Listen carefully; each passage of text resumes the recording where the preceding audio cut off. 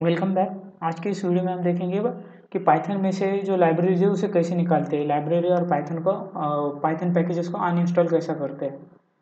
तो आपको ये कमांड यूज़ करना होती है पाइथन अनइंस्टॉल और पैकेज नेम जो पैकेज आपको निकालना है, जो लाइब्रेरी निकालना है।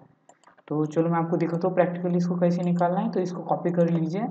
इसके बाद आप कमांड प्रॉब्लम में जाइए और यहाँ पे जाने के बाद ये कॉपी पेस्ट कर लीजिए यहाँ पे कमांड पी पे इंस्टॉल और पैकेज नेम और इंटर का बटन प्रेस कर दीजिए। तो ये इस लाइब्रेरी को निकाल देगा। तो ये आपको पूछेगा कि आपको इसको निकालना है? यस कर दीजिए।